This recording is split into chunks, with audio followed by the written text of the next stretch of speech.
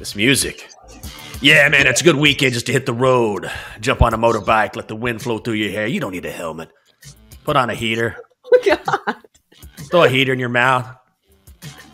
Suck in some of that nicotine. Just hit the open road. Let your f- thoughts just flow through your mind, Chelsa. This we got to have new music every day. Double D is killing it here.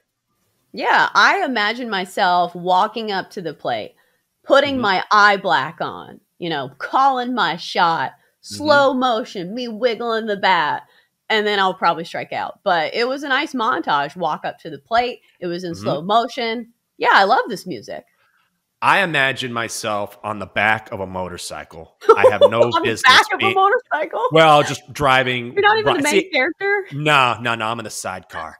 I'm in the sidecar. Okay. They put me in this sidecar because look at me. I mean, come on. If you're watching us on Twitch, just go to twitch.tv slash BetQL. You can see what I look like. You're like, this guy does not belong on a bike. So they put me in the sidecar and then we we pull into a bar, like a biker bar, right? And I'm wearing a leather jacket, which isn't really a cool leather jacket. I'm just trying to fit in. And then I walk in and everyone turns at me and says, Buddy, you're about to get your ass kicked. Get out of here. That that's how that would go for me. No, how it would go, you would walk into the bar with your leather jacket, and mm-hmm. somebody would say, some woman would say, "Is that a woman's jacket?" I think I saw that at H and M. Jenks, are you wearing a woman's coat? And you would be like, maybe. And then you look at the inseam, and sure enough, it has like the piping for a woman's chest. that would probably happen. Someone would come over, grab the back of my neck, and then pull up the jacket and say, This says Forever 21. Get the hell out of here. this is a lady small. Sir, this is a teenage small. You've got to be bigger than a buck 40 to come in here and have a brew with the biking crew. Yeah, that's how that would end for me. But I guess the, the, the broader point is Double D bringing great music. So I will not be going into a biker bar this weekend or ever, but we like the music Double D, so keep that going. This is a daily tip from BetQL presented by BetMGM. Great to have you with us on a Friday as we get you closer and closer to the weekend. Chelsa, coming up next on BetQL Daily, the Joes and Aaron discuss how the road team won all three games in the NBA last night to close out their series.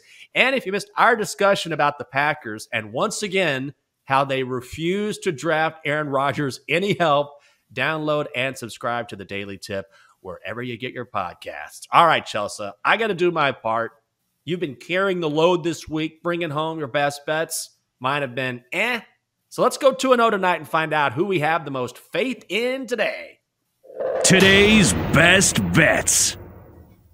Chelsa? Yeah, for me, I'm going with the Mm. Memphis Grizzlies to close out the series tonight against the Timberwolves. Listen, in game six, it's a little different than regular season trends. You need a team to step up, you need the stars to shine, and you need a team to close it out. And for me, I have way more faith in the Grizzlies to hold on to a lead than the Timberwolves. We've already seen this story. The Timberwolves have blown two games in which they had huge leads. Pat Bev was talking trash. Karl-Anthony Mhm. Towns was going shh.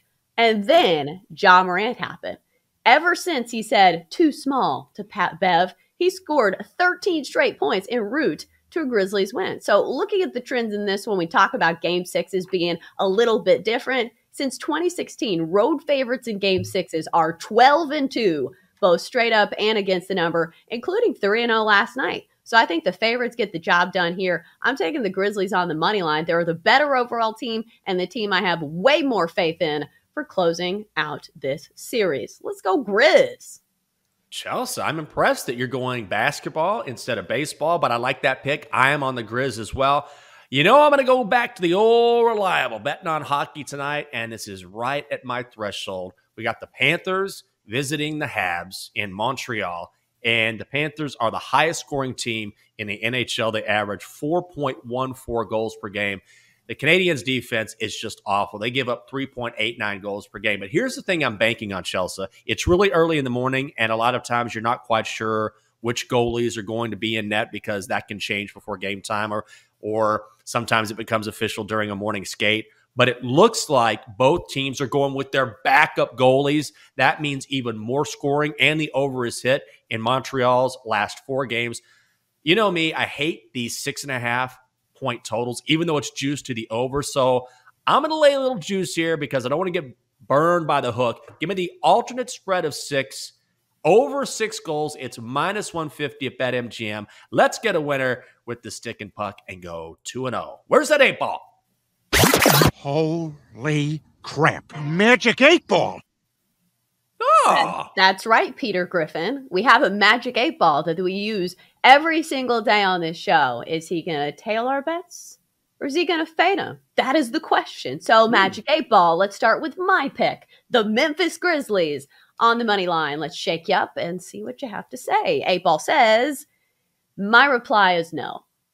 finally.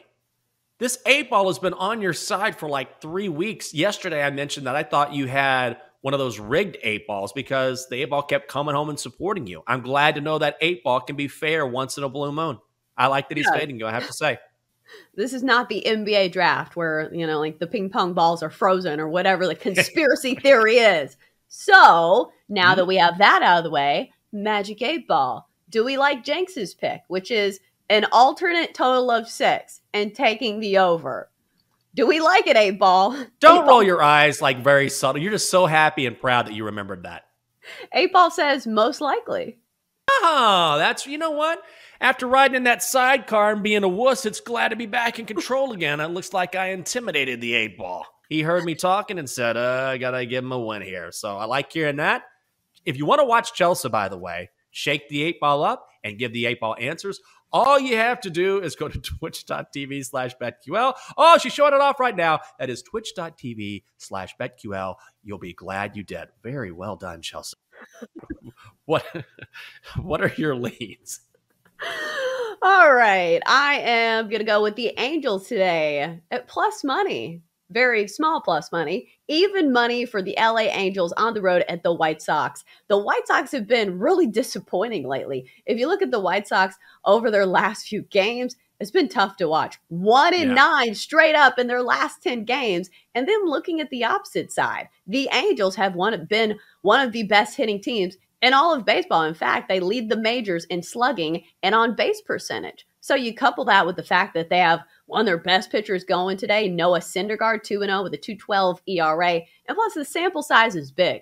We all know that Noah Syndergaard is a good pitcher. So you get this hot offense that's playing well against one of mm-hmm. the best pitchers in baseball. Yeah, I'll take the Angels at even money going against the White Sox. I know Lucas Giolito has been good too, but I still don't trust this White Sox team. And anytime you can get a good team for even money, I think you got to go with it. And plus, the Angels have actually been good on the road this season, five and two on the road. So let's go, Angels and the Halos for Oh. my other bet of the day. I love that pick. I actually think the wrong team is favored here, and I think Giolito is going to be on a pitch count because he just came off the IL. I Angels are just playing such good baseball. I love that pick at even money. My other pick, Chelsa, this is my lean. I'm going to go over seven between the Phillies and the Mets. Now, I know you have Tylor Megill for the Mets, Aaron Nola for the Phillies, but I think we're getting some value here based on the fact that both of these guys were tremendous last time out. I don't think that lasts here. Megill was great, but that was against Arizona, which is absolutely putrid. Nola was nearly perfect against the Brewers. The Brewers sometimes have issues with that lineup, and Nola's not going to be perfect again. When you look at these lineups in particular, Phillies are third in batting average thus far in Major League Baseball. The Mets are fourth. That Philly defense is suspect as well. I think this total is low. It's juiced to the over. Minus 120 at BetMGM, going over seven between the Phillies and the Mets. Do you like that, Chelsa? Yeah, I think I like a Phillies team total too. Like this isn't Okay. going to be an official play, but over two and a half runs is minus 160, which is a little juice. But we've seen this Phillies lineup really come to life in the past few days, and they're sle- seeing the ball well. They scored a ton of runs in that series against the Rockies, and I'm not completely sold on Tylor Megill. Yeah, he's been good, but at some point, I think he's going to give up some runs. So I think the Phillies are the team to do it. Let's do your BetQL five star best bet and check in with the Donkster. For insight, analysis, historical trends, and more five star best bets, all you have to do is download the BetQL app. Chelsa, you're not going to believe it. You and the Donkster are on the same side tonight. What's that, Donkster? What are you saying? What's going through that brain of yours?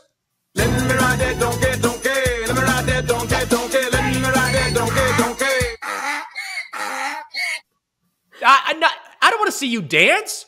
You're a donkey. You can barely. You're a you're a burro. You're a slow donkey. Don't act like you're dancing and partying in the studio down there by yourself because you won a chalky bet like that. There's nothing worse, donkster, than a cocky better. Chelsa, back me up on this.